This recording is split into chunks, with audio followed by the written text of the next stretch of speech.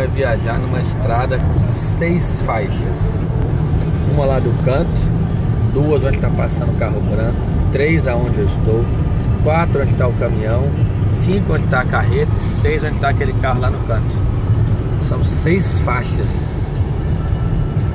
no sentido para Niagara e seis faixas subindo. Fora o acostamento de lá. Fica ali no pé da mureta. E também tem um ali no cantinho.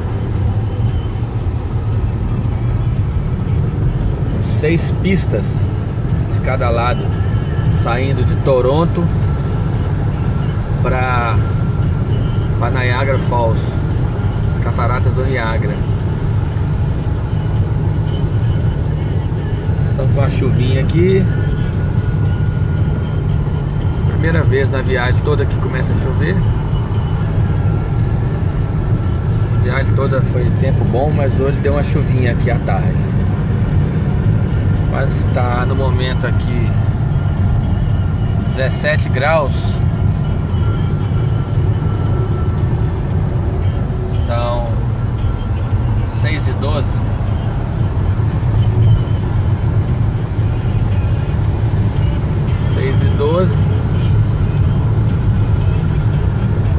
Estamos descendo para as cataratas do Niagara.